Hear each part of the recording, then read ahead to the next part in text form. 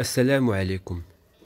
من بعض التصرفات التي تقوم بها طيور الفينش مثل الزيبرا فينش البنغالي أو الطيور الأخرى من فصيلة الفينش.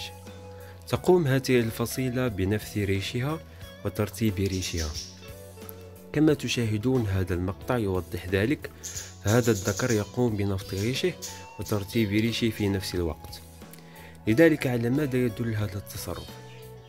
هذا التصرف ببساطة يدل على أن الذكر أو الطائر يرغب في الاستحمام.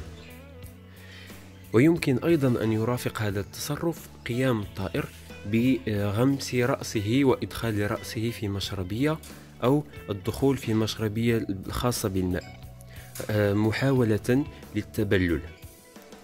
لكن إذا لم تكن متوفرة مشربية برأس كبير فيمكن أن يظل يقوم بنفط ريشه فقط وترتيبه لذلك في هذه الفترة عند مراقبة هذا التصرف يجب أن تعلم أن طائرك بحاجة للاستحمام. لذلك قم بتوفير حوض استحمام له حتى يستحم ويقوم بتنظيف ريشه بكامله. والسلام عليكم.